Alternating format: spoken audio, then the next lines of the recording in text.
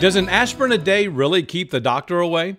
Some studies show there are benefits beyond pain relief gained by taking low dose aspirin daily. But should you start an aspirin a day regimen if you're healthy? That's a good question. Uh, first of all, if the person's active, a non smoker, no family history of premature coronary disease before age 60, uh, probably doesn't need it. But if they're diabetic, they have hypertension or high blood pressure, uh, certainly if they have any vascular disease, men over 50 and women over 60 need to be on daily aspirin therapy. That's primary prevention. That's prevent problems down the line. And keep in mind there are risks involved with taking aspirin. There's a long list of possible side effects associated with aspirin consumption.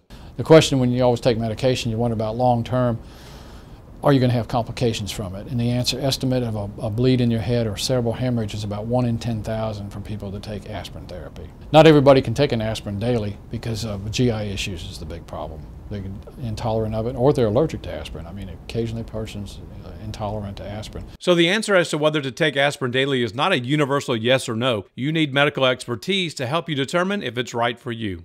Before you take any medication, you should consult with your physician. If you have a cardiologist, I'm sure that this will come up. But even a family practice or a general internist probably ought to have this discussion if you're in your 50s, certainly for a man, and a woman probably in her 60s.